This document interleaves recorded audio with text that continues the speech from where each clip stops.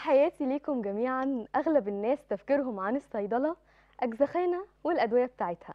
بس في الحقيقة دي معرفة سطحية تماما. والصيدلة مش مجال واحد بس ده هي مجالات كتير جدا هنتكلم عنهم باستفاضة في برنامج أجزخانة. وطبعا في كل حلقة هبتدي إن أنا أتكلم معاكم عن معلومة صحية لأن الغرض الأول والأخير من البرنامج إفادتكم. وبالنسبة لحلقة النهاردة هيكون معانا أخصائية التغذية العلاجية دكتور بسنت رمزي.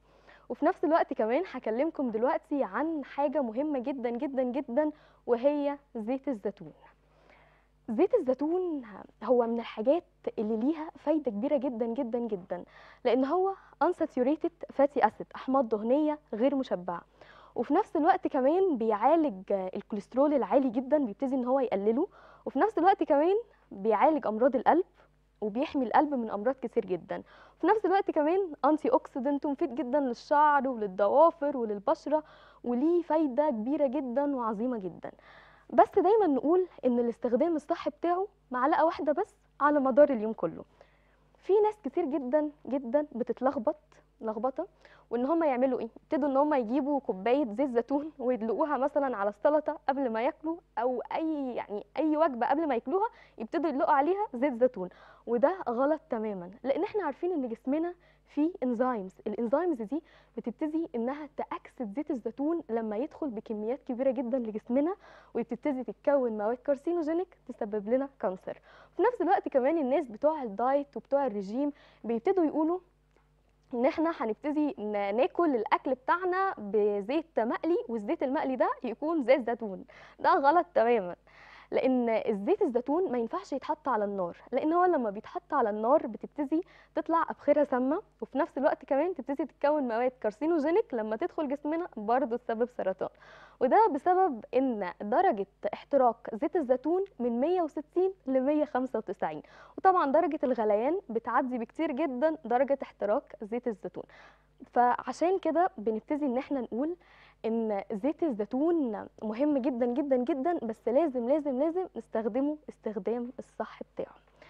وطبعا هنبتدي إن إحنا برضه نتكلم عن حاجات كتير جدا في التغذية بس هيكون مع أخصائية التغذية العلاجية دكتور بسنت رمزي اللي هتكون معانا بعد الفاصل.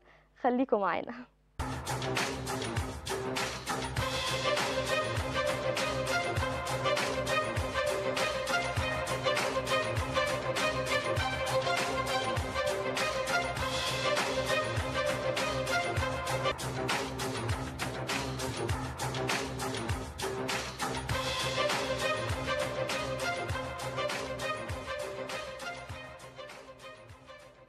كنا لسه بنقول قبل الفاصل إن صيدلة مش مجال واحد بس مجالات كتير جدا. فمعانا في حلقة النهارده خريجة صيدلة وفي نفس الوقت أخصائية التغذية العلاجية دكتور بسنت رمزي. واللي هنتكلم معاها عن مواضيع كتير جدا تخص الحرق تخص السعرات الحرارية أنظمة غذائية مختلفة. هنتكلم معاها عن حاجات كتير جدا. بس قبل أي حاجة أهلا بيكي يا بسنت. عاملة إيه؟ الحمد لله. نورانا النهارده. شكرا ميرسي. بمناسبه بقى الشتاء والتكتكة اللي إحنا فيها دلوقتي قولي لنا الحرق في الشتاء بيزيد ولا بيقل؟ آه هو معظم الناس فاكرة إن الشتاء إحنا بنجوع الشتاء إحنا بناكل كتير قوي. طب أنا بتخن أصلا الحرق بيقل. يعني هو ده معتقد الناس شوية فاكراه. بس هو الحقيقة إن في العادي أي جسم بيبرد أو طبيعة الجسم إن هو بيحاول إن هو يحرق سعرات ويحرق أعضاء الجسم بتتحرك إن هو يدفي نفسه. فالمخزون اللي عندي في الجسم من الأكل whatever هو كربوهيدرات بروتين نشويات دهون الجسم بيحاول يحرقه. فلما تمام. بنحرق الأكل اللي عندنا والمخزون الجسم بيجوع فبيبقى عايز أكل. فهي الفكرة إن الناس بتفتكر إن الشتاء بيجوع فالشتاء أنا باكل فيه كتير عشان أنا حرقي بيقل. لا هو. الجسم بذل مجهود إن هو يحرق ال- الطاقة اللي يحرق المخزون اللي عنده فيديله طاقة فيدفى فبيجوع. هي بس الفكرة كلها إن هم يحاولوا يظبطوا آه، إن هم ما ياكلوش في أي وقت في أي وقت هم حاسين إن هم جعانين فيه ده مش صح.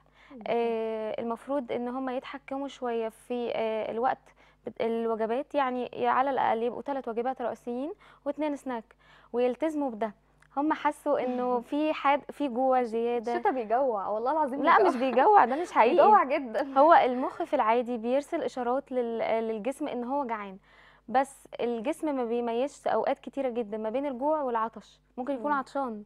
أغلب الناس مم. أصلا ما بتشربش مية في الشتاء خالص. فنجرب إن. إحنا نشرب مية. الجسم المخ في العادي ما بيفسرش ما بين الإشارات بتاعة الجوع والعطش. وأغلب الناس بتفتكر إن هي عايزة تدفى فأنا هاكل بقى حاجة تدفيني. طب هشرب شوربة طب هاكل شوكليت طول ما هي قاعدة بتاكل. Especially كمان إن هم ممكن ياكلوا أكتر آه، ساندوتش ياكلوا عيش ياكلوا رز ومكرونة. الحاجات الحاجات دي كلها ال fats آه اللي بتتخن دايما آه. في العادي ما ينفعش يحصل ده. في الشتاء نحاول على الأقل ن control حاجة زي دي بمعنى إن إحنا عارفين إن إحنا بناكل ثلاث وجبات رئيسيين. خلاص it's okay نلتزم بيها. طيب تمام. إحنا جعانين في النص شوية ناكل اتنين سناك. نلتزم بيهم ما نزودش.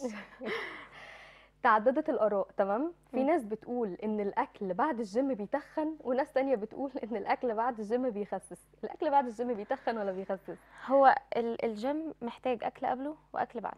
طبعا تمام. كل ده بيتحسب على حسب النظام الغذائي المخصص لكل شخص فينا. يعني تمام. حتى يعني ما ينفعش إن يبقى في نظام واحد كل الناس بتمشي عليه. كل واحد آه، بيعمل رياضة ب- بالذات مش إن هو بيخس بس مش أكتر لازم يكون ليه نظام غذائي لوحده. طيب تمام. بيبقى في قبل الجيم أكل حاجة تديها طاقة حاجة تديه طاقة آه وفي بيبقى بعد الجيم أكل ده أساسي طيب الناس ليه ما بتاكلش الناس بيبقى شوية فاكرة إن هي أنا عملت مجهود فأنا خسيت فأنا مش هينفع أرجع آكل بس إحنا بنعمل حاجة في الجيم آه معظم الناس ما بتلتزمش بساعة ونص فالناس آه. بتكتر فوانس إن إحنا عدينا ال peak بتاع الساعة ونص فالجسم بيبتدي يكسر من عضلات جسمه مم. يعني الجيم فترته المفروض إن هي ما تزيدش عن ساعة ونص ساعة هي ساعة ونص. ونص بس. ساعة ونص ساعتين maximum ما آه، تزيدش. عن كده. بعد كده الجسم بيبدأ يكسر عضلات. طيب إحنا قعدنا ساعة ونص ساعتين. طيب أنا محتاجة أعمل recovery للعضلة محتاجة أغذي الجسم. فبيبقى الجسم محتاج جزء من البروتين والنشويات والخضار. وفي بعض الأجسام التانية بتبقى بروتين وخضار هي بتختلف طبعا من نظام للتاني. لو أنا ما أكلتش بعد الجيم إيه اللي هيحصل؟ لو أنا ما أكلتش بعد الجيم اولا لو أنا بلعب عضلة معينة العضلة دي مش هيحصل لها recovery أكتر يعني ممكن تقعد أكتر من 48 ساعة. أنا جسمي وجعني العضلة اللي أنا بلعبها جسمي وجعني خصوصا لو كانت عضلة كبيرة زي ال- اللي هي leg day وال والظهر وال chest دي عضلات. كبيرة بتحتاج لوحدها 48 ساعة recovery طب. أنا ما أكلتش مش هيحصل recovery فممكن تاني يوم يأثر عليا في الجيم طب أصل أنا مكسلة مش هروح. وده بيحصل. الناس ممكن تلاقيها أول يوم واتنين راحت الجيم ولعبت وبس ما كلتش. رابع يوم بتش... مش قادرة. بتريح. عشان كده دايما دايما إن إحنا فعلا لما ننزل نجري نروح الجيم أي حاجة نلاقي إن إحنا تعبانين جدا وعضلاتنا فعلا نلاقيها شاده آه. علينا جدا جدا جدا. الموضوع ده إن إحنا فعلا دايما بعد الجيم ما بناكلش. لا لازم نرجع ناكل على الأقل minimum بروتين والخضار. الجسم التاني في أجسام ممكن نحط لها نشويات لأن طبعا الجسم بيحتاج نشويات. بس في أجسام تانية اللي هي بتبقى على حسب نظامها الغذائي والكمية اللي متحدده لها أجسام تانية ما بتحتاجش نشويات بعد التمرين. تمام يا بسنت بسنت في ناس كتير جدا جدا جدا الحرق عندهم بيبقى ضعيف قوي. بيبتدوا إن هم مثلا ياكلوا علبة زبادي بليمون علبة تونة وحاجات كتير جدا وعلى مدار الطويل نيجي نبص نلاقيهم خسوا نص كيلو كيلو حاجة بسيطة جدا وممكن ما يخسوش كمان. فالحرق الضعيف ده أسبابه إيه؟ هي الفكرة كلها إنه الحرق محدش ينفع يقول إن الحرق عندي ضعيف من غير ما يعمل أشعة أو تح... من غير ما يعمل تحاليل. طيب التحاليل دي بتبقى إيه؟ أهو إيه هي أسباب إن الحرق بيقل؟ الغدة. دي أهم حاجة وأهم سبب إن الشخص لو حس إن هو بيعمل diet وباذل مجهود فيه بس مفيش result فأول حاجة بيبتدي يحللها الغدة. ونشوف ساعتها هي السبب في ده ولا لأ.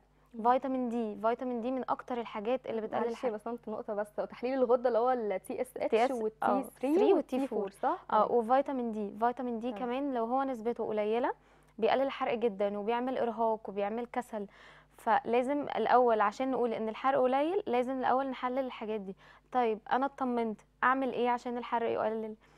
هي الناس آه، لما بتبتدي تاكل في العادي هي بتاكل بالليل وبتتعشى كتير. فلما بتيجي تبتدي دايت بتاخد زبادي عليه ليمون بالليل. بس أنا كنت بتعشى مثلا بيتزا كنت بتعشى ساندوتش ومرة واحدة بقيت بتعشى زبادي فهو أنا طبيعي أخس. بس هو الزبادي بالليمون ما بيعملش أي حاجة. ما بيعملش حاجة الزبادي بالليمون؟ لا خالص هو بس بيشغل انزيم لا واحد معلش معلش لا لا لحظة واحدة stop يعني يعني الزبادي بالليمون اللي كل الناس تعمل diet بتبتدي إن هي تاخده قبل ما تنام ده مش بيخسس هو ما بيشغل انزيم معين في الجسم تمام. بيهضم الأكل لكن مش بيخسس منطقة معينة هو بيخسس ليه عشان أنا طبيعة جسمي كنت باكل كتير جدا مرة مم. واحدة بقيت باكل زبادي بالليمون بالليل فأنا هخس طب أنا عايزة أعرف حاجة دلوقتي إيه. يا دكتور بسنت بقى الأكلات والمشروبات اللي بتساعد على حرق الأكل بصي أنا مش عايزة أفاجئك بس هو آه. مفيش حاجة اسمها برضو أكل وشرب بيزود الحرق يعني هي حاجة بتبقى يعني دايت كده معين أو نظام غذائي. بنبتدي إن إحنا ناخده ده بيحرق الأكل الحاجة؟ الوحيدة اللي بتزود في الحرق أو الحاجة بعد ما بنطمن على التحاليل إن إحنا ناكل كل 3 أو 4 ساعات وجبة حتى آه. لو صغيرة المهم ما نسيبش وقت وقت كبير قوي ما بين الوجبة والتانية ليه في. لما بيحصل إن. إن ناخد مثلا وجبة وبنعدي أكتر عدد ساعات ممكن وما بناكلش الجسم بيعمل حاجة اسمها ريزيستنس إن هو بيحس إن هو داخل في مجاعة مم. طيب أنا أكلت الوجبة اللي بعدها إيه اللي بيحصل الوجبة دي ما بتتهضمش الوجبة دي الجسم عارف إن الجسم ده بيجوعني فأنا هخزنها كلها تمام فالأكل ما بيتهضمش فلو الناس فاكرة إن مثلا إنه إحنا هنقلل اكل قوي طب أنا حارم نفسي وما بخسش ليه طب أنا يا دكتور ما باكلش خالص بس. ليه ما بخسش لا إحنا ما بنخسش عشان في جاب كبيرة جدا في عدد الساعات ما بين الوجبة والتانية. فالجسم بيبقى مفسرها إن مفيش أكل في مجاعة. فأي حاجة هتدخل هو هيخزنها عشان قدام هو هيجوع. طب دكتور بسنت هو ده ليه علاقة بالصيام المتقطع؟ يعني أنا أعرف دايما إن الناس اللي بتعمل دايت بيتكلموا عن حاجة اسمها الصيام المتقطع إن هو. بيبقى ليه فايدة كبيرة جدا في الحرق فممكن تكلمينا عنه وتقولي لنا إزاي بيساعد ان هو يحرق الأكل آه، الصيام المتقطع ليه كذا نوع منهم إن إحنا هو ممكن نصوم 12 ساعة فبناكل 12 12 ساعة أو نصوم 14 أو نصوم 16 بنبتديها في الأول على حسب يعني قدرة الجسم ما بنبتديش طبعا ب 16 لأن إحنا ساعتها بن- بناكل 8 ساعات بس فبنحاول إن إحنا نبتدي ب 12 وبعد كده ب 14 ساعة ساعة صيام وبعد كده تمام. 16 ساعة صيام في. الثمان ساعات دول المفروض إن إحنا مش معنى كده إن إحنا ناكل أي أكل لا آه. إحنا لازم ناكل أكل صحي بس في الأغلب بنستغنى عن وجبة. يعني لو هو فطار غدا عشاء ما بيكونش فيه وقت كبير قوي إن إحنا ناكلهم. فممكن يعني على حسب الوقت والاحتياج بتاعه. ممكن في شخص يستغنى عن الفطار وفي شخص يستغنى عن العشاء. طيب الصيام المتقطع ليه فايدته إيه؟ الجسم بيقعد 12 ساعة بالظبط يستهلك الأكل اللي هو يعني كله في آخر وجبة أو الأكل اللي موجود. طيب بعد 12 ساعة إيه اللي بيحصل؟ فاضل أربع ساعات على 16 ساعة. الجسم بيبتدي يحرق المخزون. yes المخزون ده من إيه؟ من الدهون بس. فهو أكتر حاجة effective للناس اللي محتاجة تخس. وكبداية ممكن نبتدي حلو جدا بالصيام المتقطع. ممكن نكمل عليه. آه بالظبط كده يا دكتور. يعني كمان أنا بشوف إن هو الصيام المتقطع ده إن أنا مش بحرم نفسي من الأكل. يعني. ليه كمان مصطلح اللي هو fasting and feasting يعني اللي هو الصيام وفي نفس الوقت كمان الأكل. يعني أنت بتعمل حاجتين مع بعض بحيث إن أنت تمشي إن يكون جسمك سليم. أنت مش بتحرم نفسك من حاجة. لا ما مش فيش كده؟ طب أنا دلوقتي عايزة أعرف حاجة.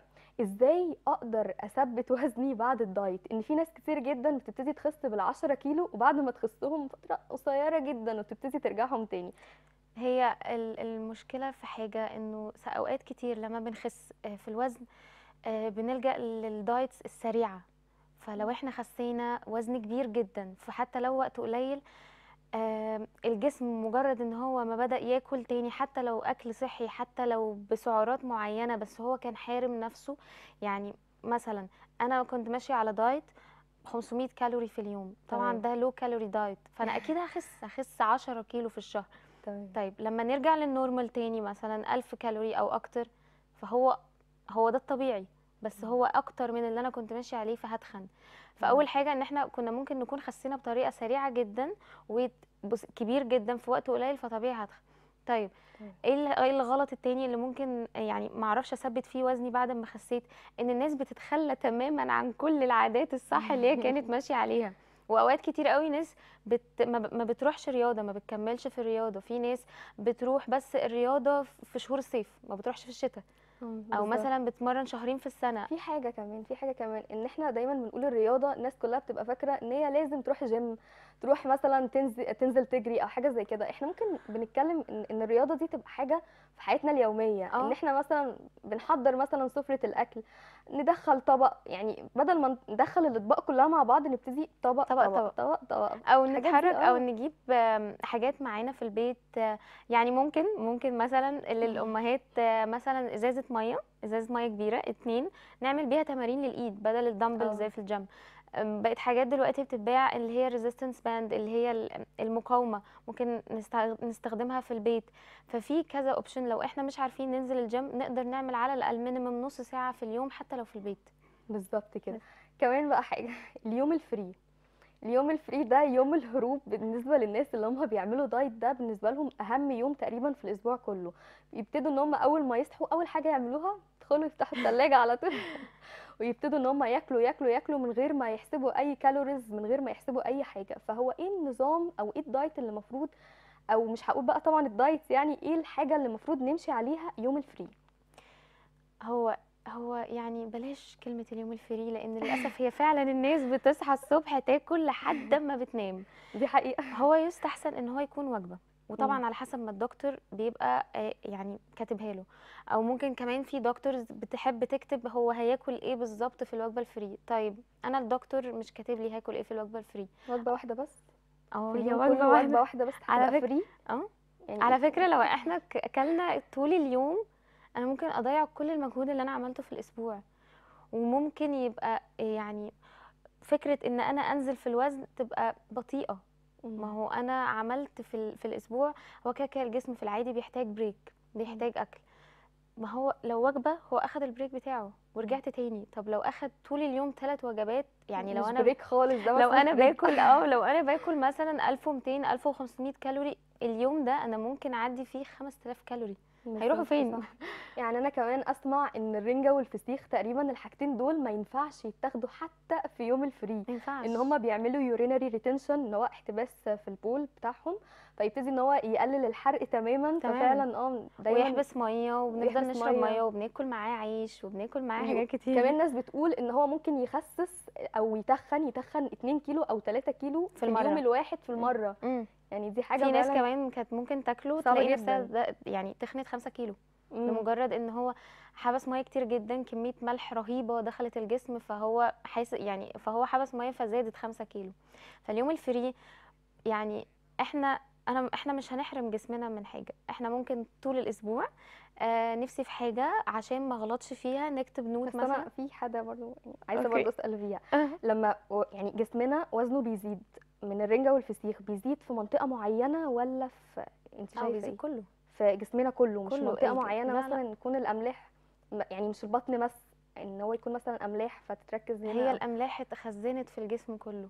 خزنت في الجسم كله إن. هي تمام تمام. لكن طبيعي أنا أكلت مثلا بطني زادت بس هو مش آه. عشان هو اتخزن هنا بس أنا أكلت كتير قوي فهو الأكل يعني في بطني فبطني بس حجمها زاد شوية. بالظبط تمام. فيعني لو أنا نفسي في حاجة آه، يوم يعني طول الأسبوع ممكن نكتبها في ورقة ويوم ال free ندوقها.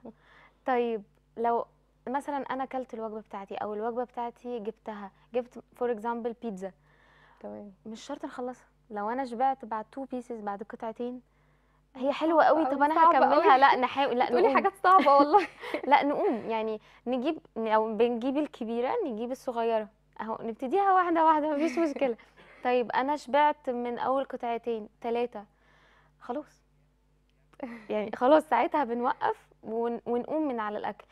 زي ما عندنا إرادة إن إحنا نخس وإن إحنا تعبنا طول الأسبوع وإن إحنا بذلنا مجهود في قد إيه في إن أنا أخس الكيلو أو ايفر الاتنين كيلو بلاش أضيعه في وجبة أو بلاش أضيعه بلاش أضيع المجهود في لحظة كده ممكن أتحكم بنفسي زي ما أنا قادرة أتحكم في نفسي طول الأسبوع ممكن أتحكم في نفسي وجبة ال free طب برضو عايزة أسأل عن حاجة. مم. في diet لتخسيس منطقة معينة في الجسم يعني تخسيس البطن أرداف منطقة معينة؟ لا، لا، مفيش؟ مفيش حاجة اسمها كده خالص. هو ال- ال- اللي بيقسم أو بيعمل shaping للجسم أو منطقة معينة بتخس هي يا رياضة يا أجهزة تخسيس موضعية. آه لكن diet معين يخسس منطقة معينة في الجسم؟ لا. لا بس أنا أعرف. إن الجري الجري بقى هو تقريبا اللي بيوزع تقريبا الجري بيحرق سعرات كتيرة صح؟ جدا بي- وبيخسس. بيوزع الحرق على الجسم كله. آه. بيحرك كل عضلة وكل منطقة في الجسم. فهو آه. بيحرق بيحرق من كل الجسم من كل أعضاء الجسم. فما فيش حاجة بتتخزن فيه بشكل واضح أو صريح. يعني أي حد بيجري هتلاقيه حتى شوية س- سلم يعني هتلاقي آه. كل العضلات بتاعته باينة. الجري بيشغل كل عضلات الجسم. يعني الجري ممكن يكون أحسن من الجيم كمان؟ الجري لأ الج... لأ ده حاجة وده حاجة. ده ممكن حاجة ال gym. ال gym بمسمى الرياضة ما هو الجيم فيه كذا حاجة ممكن classes ممكن نحضر. Zumba ال Zumba بتحرق جدا طيب في ناس ما بتحبش ال classes في ناس بتحب شوية على إن هي تمشي بره على ال treadmill مشاية أو ال orbitrack أو. كده طيب نعمل إيه لو أنا مش قادر أجري يعني في ناس كبيرة ما بتعرفش. تجري ممكن شوية في المشاية ال treadmill بنرفعها شوية incline ونبتدي نمشي عليها بس طبعا ده بيبقى على حسب الشخص ووزنه لأن ده ممكن لو اترفعت بنسبة كبيرة شوية بتأثر على الركب طيب إحنا ممكن مش قادرين نرفعها ومش قادرين آه، نجري. نعمل إيه؟ إحنا ممكن نعمل دقيقة مشي سريع لو مش هنجري ودقيقة مشي بطيء. فبنعلي ال heart rate فال heart rate ده بيخلي ال- الدم الدورة الدموية تشتغل كويس فبيزود الحرق. لو إحنا ما. عندناش ال options آه إن إحنا نجري. طيب في حاجات تانية في الجيم بتتعمل التمارين المقاومه الحديد ما بيطلعش عضلات للبنات. إحنا عمرنا ما هنطلع عضلات زي الولاد يعني تمام. بيشد الجسم تقريبا شد الجسم. لو في أي stretches أو أي حاجة زي آه. كده يبتدي إن هو يشدها مش كده بيشدها بيشد الجسم بيزود الحرق آه بي ب... لما بناكل بروتين بعد الجيم بالذات بعد تمارين المقاومة دي أكتر حاجة بتزود الحرق في جسمنا مم. فتمارين المقاومة أو سؤال برضو يعني إحنا لما بناكل بروتين بعد الجيم ده بيزود من الكتلة العضلية آه عشان كده بس- بيزود الحرق مش بس كده هي الفكرة إنه يعني أنا دلوقتي أنا عندي العضلات مثلا بنسبة 2 سنتي وال fats بنسبة 5 سنتي. مم. طيب أنا لعبت في الجيم فحرقت شوية من ال fat سنتي فبقت تمام. 4 سنتي بس تمام. بعدت عن العضلات وفي gap ما بين العضلات والدهون. تمام. فأنا المفروض أعمل إيه؟ المفروض آكل عشان حجم العضلات يزيد. تمام. فلما حجم العضلات يزيد أنا كده زودت الكتلة العضلية. ممكن الناس بتبقى فاكرة شوية لما بتعمل تمارين مقاومة إن هي ثابتة في الوزن. بس. هي مش ثابتة هي عضلات جسمها بتشد وال fats بت- بتنزل. معنى ممكن تكون شايفة إن شكلها كويس وهي شايفة إن هي خاسة ال shaping بقى حلو بس شايفة الميزان ثابت. ده مش indicator ابدا إن هي ما بتخسش هي indicator إن هي بتلعب تمارين مقاومة فشدت جسمها ب... ب... بالتمارين دي فالعضلات زادت. والدهون قلت فده حاجة برضو صحية. يعني الميزان ساعات لما بنلاقيه ثابت وإحنا أصلا بنلعب في الجيم مقاومة ده مش معناه إن هي ما خستش لا يعني معناها إن هي العضلات زادت بس الدهون. قلت. أعرف برضو إن الصيام المتقطع اللي إحنا كنا لسه بنتكلم عنه من شوية إن هو من الحاجات برضو اللي هي بتزود الكتلة العضلية مش كده؟ بيزود الكتلة العضلية لا هو الفكرة كلها إن الأربع ساعات بعد ال 12 ساعة الأولانيين الجسم يبتدي يحرق دهون. أه. فبنقلل حجم الدهون في الجسم. فبناكل فلو كلنا بروتين البروتين بيعوض ده فإن هو بيزود العضلات فبيزود الكتلة مم. العضلية شوية بس آه. مش قوي اللي بيزود الكتلة العضلية تمارين المقاومه في الجيم بس. طب وال growth hormone برضو في الصيام المتقطع تقريبا إن هو بيزيد. بيزيد قوي إن عشان هو بيزيد تقريبا وإحنا نايمين بيزيد وإحنا نايمين عشان؟ كده عدد ساعات النوم من أكتر الحاجات اللي بتأثر في ال في لو حد بيحاول ينزل في الوزن وحد على فكرة بيحاول يزيد في الوزن. عدد ساعات النوم من أهم الحاجات اللي بتخلينا آه نخس. آه طبعا. بيظبط الجسم. يعني الناس اللي عايزة مثلا تتخن بيتخنهم والناس اللي عايزة تخس بالظبط. لأن هو بي آه، مستوى الإنسولين بيتظبط وقته. ال growth آه. هرمون بيطلع ساعتها. مستوى الكورتيزون بي ساعتها بيبقى كويس. آه. ال peak آه، للنوم بيبقى المفروض بعد أول ساعة ونص. فإحنا نحاول نظبطها. بمعنى إيه؟ يعني لو حد داخل ينام ساعة ممكن يصحى مصدع. ممكن مم. يصحى تعبان شوية ممكن حاسس إن هو مش واخد راحته في النوم مم. أول peak من النوم بعد أول ما كل أعضاء الجسم تقوم بمهمتها ال peak ده بيحصل بعد أول ساعة ونص مم. فعشان كده ممكن ننام ساعة ونص أو ثلاث ساعات أو أربع ساعات ونص أو ست ساعات ف minimum على الأقل لازم الجسم يكون نايم من ست ساعات لسبع ساعات ونص ما ينفعش يقل عن كده لأن الحرق بيقل لأن هو. بيأثر على حاجات كتيرة جدا تمام. فلو الشخص ما بينامش كويس وهو بيعمل diet ورياضة مش هيخس هيأثر في الخسسان شوية تمام تمام. السعرات الحرارية بتختلف من الراجل للست للطفل؟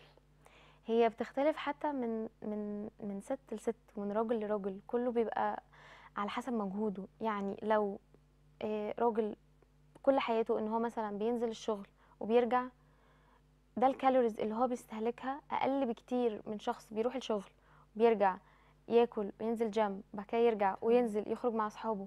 فهي من الراجل للست للطفل للمراهق بتختلف. لو حد بيمارس رياضة السن للشباب مثلا لو هو بيعمل ومن رياضة لرياضة بتختلف. يعني لو هو بيلعب سباحة ليه calories لازم ياخدها أكتر من اللي بيلعب basket اللي بيلعب كرة قدم.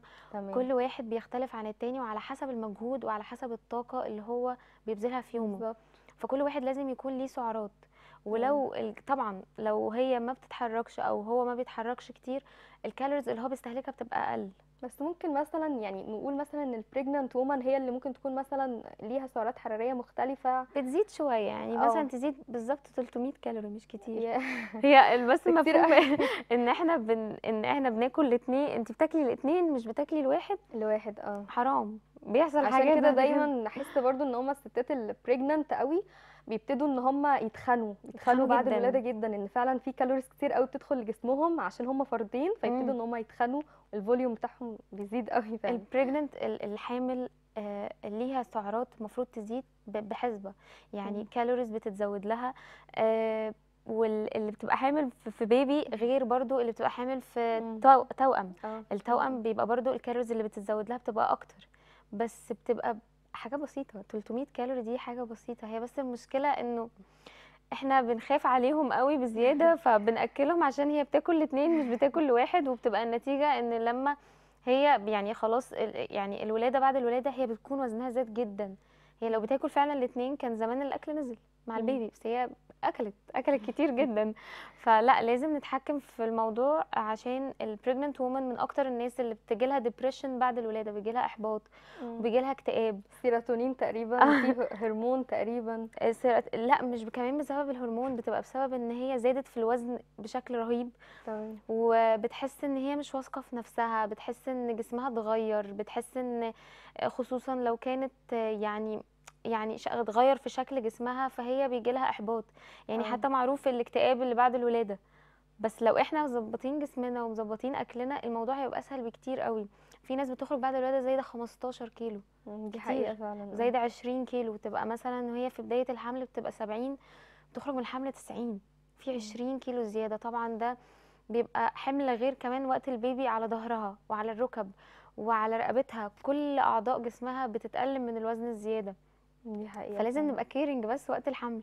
طب ما ينفعش إن إحنا نعالج الموضوع طيب بعد الحمل ولا إيه؟ ما إحنا هنعالج الموضوع بنخس بعدها على طول بس يعني نحاول هي كده كده طبيعي طبعا هتزيد وده بيبقى حاجة غصب عنها حاجة من عند ربنا. دي حقيقة بس نحاول إن إحنا ما نسيبش نفسنا نزيد لدرجة إن أنا ببتدي مشواري من التسعين أو من المية كيلو وأنزل تاني للطبيعي بتاعي اللي أنا أصلا كنت كمان عايزة أنزل عنه. فالجسم بيهلك الجسم بيتعب جدا. وعشان حتى كمان الوزن الزيادة وقت الحمل وهي خصوصا كمان ال baby ده أكتر حاجة بتأثر على ظهرها. فهي لازم الحامل تاخد بالها كويس جدا من أكلها لأن ده بيأثر على الظهر بشكل كبير وهي بتبقى تعبانة تمام. فالأكل بيفرق طب وإيه الأكل اللي ممكن ال pregnant woman تاخده وهي حامل الحاجات اللي هي ال main يعني ليها. ال main أكتر حاجة أكتر حاجة إن هي تكتر الخضار تكتر الحاجات اللي بيبقى فيها صوديوم مغنيسيوم آه، كالسيوم زي البروكلي الجرجير الحديد زي السبانخ آه، تاكل جزر عشان المغنيسيوم ما يحصلهاش أي شد عضلي. آم، كمان تاخد في أدوية بتبقى يعني لل- للحوامل يعني حاجات بيبقى فيها حديد حاجات بتبقى فيتامين بي آه، حاجات بتبقى فيتامين اي هي من الاكتر إن هي تكتر الخضار والألياف. عشان خصوصا إن هي في الأغلب هتبقى بتحس بجوع شوية ممكن ساعتها تاكل خضار أكتر. ما تلجأش إن هي تاكل حاجة مسكرة أو حاجة تبقى فيها يعني too much calories أو حاجة فيها سكر كتير سعرات كتير فده بيتخزن في الآخر. هي كده ما استفادتش منه. وبتبقى يعني هي محتاجة لسه تاكل تاني. تاكل تمام. الحاجة اللي هي تستفيد بيها أكتر. تمام تمام. هي إيه نسبة السكر والملح اللي المفروض أي شخص ياخدهم على مدار اليوم؟ هو السكر من معلقتين لثلاثه الملح اليوم كله؟ معلش لحظة. اليوم كله معلقتين آه. لثلاثة في ناس كمان كمان المفروض تقطعه. كمان؟ آه. يعني بيبقى على حسب طبعا يعني طبيعة الشخص وهل هو آم، تعبان عنده مرض ضغط هل عنده دهون زيادة الكوليسترول زيادة. عايزة أقولك إن السكر والملح هما سلاح ذو حدين. يعني مثلا لو إحنا قطعنا ملح شوية ممكن يحصل شوية شد عضلي بس مش مش بالصورة ال- الكبيرة. وهبوط كمان؟ وهبوط لا الهبوط مش من الملح. لا على فكرة الملح مش مش يعني دايما أي حد يبقى عنده هبوط على طول حاجة كل حادقة. ترشي على طول مخلل. لا يعني هم سلاح ذو حدين. لو أنا. استعملتهم بالطريقة الصح عمري ما هتأذي. لو أنا زودت أكتر لا يعني هتعب. بس إزاي معلقتين سكر في اليوم؟ طب أنا هقول لك حاجة. انت؟ عارفة إنه لو مثلا وقفنا سكر إيه اللي بيحصل. أول حاجة ضغط الدم بيتظبط جدا. نسبة الكوليسترول والدهون في الجسم بتتظبط. آه نسبة إن أنا أتعرض إن أنا يبقى عندي مرض السكر بتقل. آه العصبية والانفعال. cancer كمان آه. نسبته بتقل لأن ال cancer ما ينفعش إن هو يطلع تقريبا غير في medium فيه سكر. بالظبط هو بيتغذى على السكر. على السكر آه. آه، الانفعال والعصبية بيقلوا. ال ال ال النوم عدد ساعات النوم على يعني دايما الأطفال ما بيحبوش يأكلوهم بالليل. شوكليت وحاجات فيها سكر لأن هما يعني بيهيبروا جدا بالليل دي فما. بيناموش طيب إحنا قللنا السكر عدد ساعات النوم بتاعتنا هتتظبط وهننام بشكل أحسن آه، أوقات كتيرة قوي لما بناكل حاجة مثلا مسكرة أو فيها too much sugar سكر كتير بنقعد بالظبط ربع ساعة نص ساعة بنبقى تمام وبعدها بنبدأ نحس إن إحنا عايزين ننام ننام ننام جدا فالخمول. الخمول اللي بيحصل بسبب ده بيقل. فهو سلاح ذو حدين يعني لو زاد عن حده بيحصل كل المشاكل دي. ولو زود ولو بالنسبة الصح مش هيحصل مشاكل. بس هي في ناس كل ما تيجي تشرب حاجة مثلا على مدار اليوم معلقتين سكر يبقى total في اليوم ممكن 10 أو خ... طب أو والبيبسي 15 بقى والعصاير والحاجات ال diet والحاجات دي كلها؟ البيبسي لا البيبسي أكتر حاجة مؤذية يعني حاجة بجد بتدخل الجسم وبتخرج ملهاش أي لازمة. ملهاش والجسم ما بيستفدش منها. بالعكس يعني في ساعات بيحصل craving الجسم محتاج حاجة. حاجة زي البيبسي لو الجسم محتاج حاسس إن هو عايز يشرب بيبسي ده معناه إن أنا جسمي آه ناقص فيه كالسيوم مم. فممكن أعوضه بإن أنا آكل بروكلي طبعا يعني- بدل بيبسي آه، آه. صعبة قوي بس أنت بتقولي حاجات صعبة والله. لا يعني ال- ال- المخ بيبقى بيرسل إشارات إن هو عاوز حاجة معينة. طيب هو ما بيعرفش يفرق. هو مش عارف اللي داخله ده بيبسي ولا داخله بروكلي بس. هو بيبقى نقص في ال في ال في, ال في المادة دي فالجسم ده إحنا ادينا له بروكلي ال craving للبيبسي أو إن أنا عايزة بيبسي هيقل تمام. طيب لو أنا محتاجة شيبسي أو أنا عاوزة آكل شيبسي معناه إن أنا عاوزة حاجة حادقة أو حاجة فيها ملح شوية آه. معنى كده إن أنا محتاجة صوديوم كلورايد يعني الجسم. بتاعي محتاج كلورايد ممكن أبدلها بإن أنا آكل إيه بقى سبانخ جرجير. يعني إزاي ال craving ساعتها شيبسي لسبانخ إزاي؟ برضه يبقى صمت صعب. ما هو أنا بقول الحاجة اللي الجسم بيبقى محتاجها. ممكن نحاول ساعتها مثلا لو إحنا محتاجين بيبسي ممكن نفضل نأجل في عدد يعني الساعات لحد ما نوصل للغدا. فالغدا ممكن أطبخ فيه بروكلي فال need إن أنا أشرب بيبسي هتروح. ال need مثلا لل... لل... للشيبسي الحاجة الحادقة. فأنا قلت إن إحنا ممكن نعوضها بسبانخ أو جرجير. برضو ممكن نأجلها لوقت الغداء أو السلطة ممكن نحط الجرجير في السلطة. فالمخ هيوصل له إن هو وصل له المادة نفسها. طب ممكن كمان مشروب تاني نعوض بيه؟ مشروب آه، نعوض يعني بيه السكر يعني. نعوض بيه السكر أو أو حاجة يعني مشروب تاني نعوض بيه البيبسي. لا البيبسي صودا في بيبقى مية شوية يعني مفيش حاجة مثلا تخلي ال need بتاعنا بدل بيبسي حاجة تانية وتبقى يعني بروكلي. ضررها. عصير بروكلي. صعب قوي لا إحنا ممكن نعمل عصاير في البيت بس تكون عصاير fresh يعني بلاش حاجات معلبة لأن إحنا ما بنبقاش عارفين كمية السكر اللي فيها. لو عملنا عصير fresh هيبقى بالنسبة لي برضو كويس جدا. نحاول نبدل كل الحاجات اللي فيها صودا آه، بيبسي whatever في حاجة يعني ناس كتير كمان على فكرة هي مش بتبقى عايزة تشرب بيبسي علشان هم need إن هم يشربوا بيبسي ده هم بيبقوا عطشانين. يعني في ناس سلاسة بتبدل المية بالبيبسي آه بالظبط في ناس كده إن هم فعلا بي بيقعدوا إن هم عايزين يشربوا بيبسي إحنا مش هنشرب يعني بصي خلاص. ممكن نحاول نبدلها بعصاير. عصاير. ده هيبقى أحسن يوم. طب والفاكهة يا بسام الفاكهة ما فيش مشكلة خالص إن الجسم يعني يدخله في اليوم ثلاث أو أربع مرات فاكهة. لحظة بس يعني جنب معلقتين السكر ولا معاهم؟ لا عمر ما الس- السكر اللي بيدخل يعني ده نوع سكر وده نوع سكر بس آه. هو ممكن لو محتاج حاجة مسكرة وفعلا محتاج عشان ما يلجأش إن هو يشرب بيبسي أو يشرب أو ياكل حاجة فيها زي كيك أو حاجة مسكرة جدا ممكن يعمل طبق فاكهة. ممكن يعمل طبق فاكهة وي- وينوع فيه الفاكهة. بس هيبقى كتير طبق فاكهة ولا إيه؟ ممكن ف- ياكل تفاحة. تفاحة واحدة. ممكن ياكل موزة. تقريبا كمان إن التفاح والبرتقال والحاجات دي كلها فيها آه، انيولين تقريبا اللي هو. آه تمام. اللي هو بروتين الانيولين ده. فبيبتدي إن إحنا لما ناكل حاجة juicy زي تفاح زي البرتقال زي أي حاجة من الحاجات دي ونشرب بعديها كوباية مية بيبتدي إن هو يعمل volume في البطن. volume في الجسم جدا وما آه، بيحسش إن هو محتاج إن إحنا آه فعلا إن إحنا عايزين ناكل أي حاجة وبنشبع وال fibers ال fibers اللي فيها كمان بتخليهم إن هم حاسين بشبع. معظم كمان ال- الحاجات اللي إحنا بنحبها كسناك أو الجسم ياكلها ما بين الوجبة الرئيسية والتانية تفاح. في الأغلب أوقات كتير جدا بنحط تفاح لأن هو بي بيدخل الجسم. لو إحنا شربنا معاها مية بيملى حجم البطن شوية فبيحس بشبع مدة طويلة. في ناس برضو فاكرة إن الفاكهة ممنوعة في ال diet أو إن أنا ما ينفعش آكل فاكهة في ال diet أو أصل ال- ال- ال- الموز هتخن أصل ده سكر كتير فمش هينفع. عمر ما السكر اللي هيبقى في الفاكهة هيبقى مؤذي زي مثلا لو أنا أكلت كيك أو مم. السكر دي أول حاجة. بس طبعا أنا زي ما بقول الحاجة لو زادت عن الحد هي هتبقى آه يعني. سكر بتفقد كتير. قيمتها الغذائية وتتحول حاجة تانية خالص. آه لو زادت عن الحد لا. يعني هو المفروض الجسم على الأقل ياكل من 3 4 مرات فاكهة في اليوم. طب سؤال بقى إمتى؟ إمتى بقى؟ يعني قبل الأكل ولا بعد الف... ولا بعد الأكل الفاكهة المفروض تتاخد؟ ممكن سناك في النص ما بين الأكل وممكن كمان في آه، أنواع أنظمة غذائية. بنحط أكل آه، الأكل قبله فاكهة. يعني أنا. هاكل فاكهة فبنعتمد إن إحنا بنملى جزء شوية من البطن فلما بيبتدي ياكل ما بياكلش نفس الكمية اللي هو كان هياكلها. يعني لو مثلا شخص لسه واكل حالا قبل الأكل تفاحتين. عمره ما هياكل نفس الأكل اللي هياكله هياكله شخص مش واكل تفاحتين مثلا أو واكل ثلاث فراولات أو أربع خوخات أو أربع مشمشات. هو ملى جزء من البطن.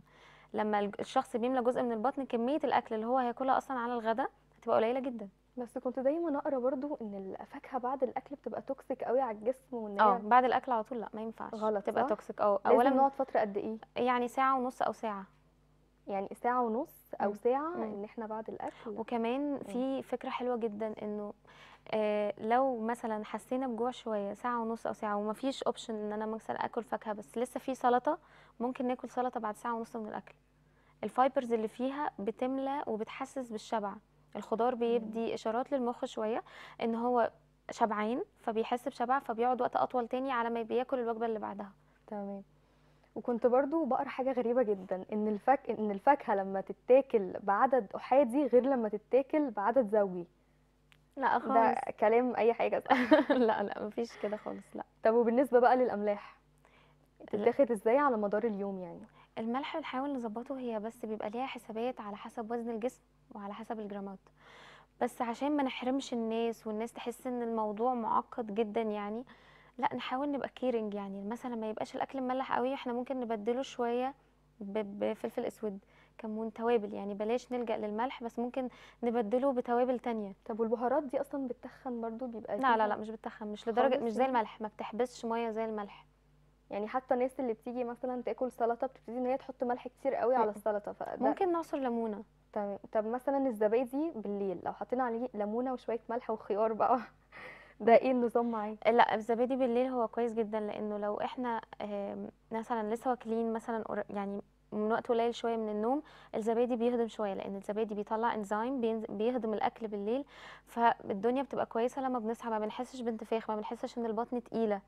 لكن هو يعني هو هو كويس بيبقى هادي شوية بالليل بدل ما ناكل حاجة كبيرة بالليل ممكن الزبادي أحسن ناكله بعدها.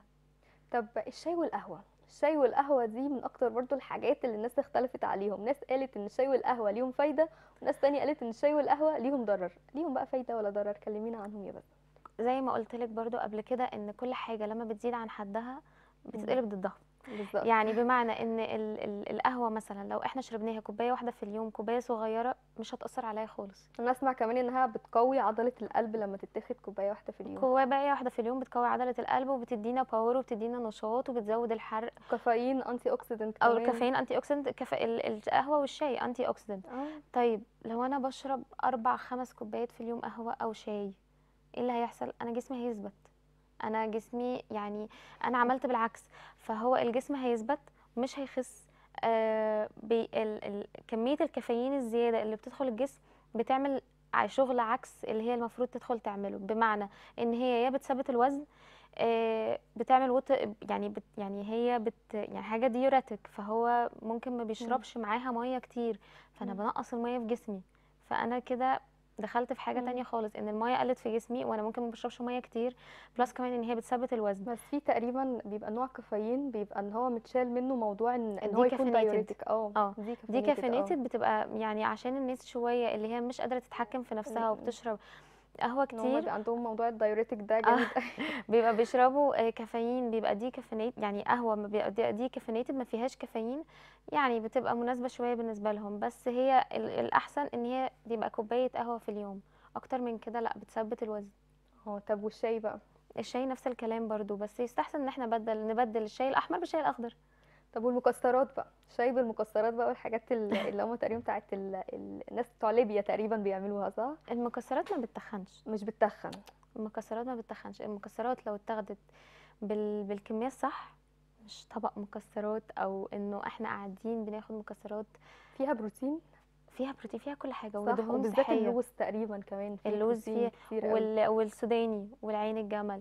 يعني إحنا ممكن بدل ما ناكل في ناس ساعات بتزهق من السناك بتاع ال diet أو سناك حتى لو ما بيعملوش diet من الفاكهة أو إن هي تاخد حاجة فيها بروتين أو كده. ممكن نبدلها ب... بمكسرات. مكسرات زي إيه؟ على فكرة إحنا الكاجو ممكن ناكله في الدايت بس كاجو؟ سبعة.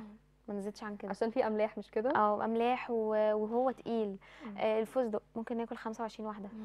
ال- اللوز ممكن ناكل من 10 ل 14 سناك. رقم فردي شفتي؟ اللي هو 25 ده رقم لا طب ما 10 و14 والسبعة طيب. وعين الجمل ممكن ناكل منه أربعة. آه، ممكن كمان ناكل من البندق عشرة. فهي المكسرات السوداني ممكن ناكل منه عشرين. فالمكسرات مش غلط المكسرات صح. ممكن وصلت. سناك. عايزة أختم والله وعايزة أكمل معاكي إن أنا فعلا بحب مواضيع التغذية دي جدا بالنسبة لي يعني حاجة بحبها جدا. وبجد أنا استفدت جدا جدا منك. النهارده بجد وكنا مبسوطين جدا معاكي النهارده. ميرسي. وللأسف دي كانت نهاية حلقتنا النهارده. ميرسي شكرا. للأسف دي كانت نهاية حلقتنا النهارده. استنونا في حلقة جديدة في برنامج اجزخانه مع روان تامر.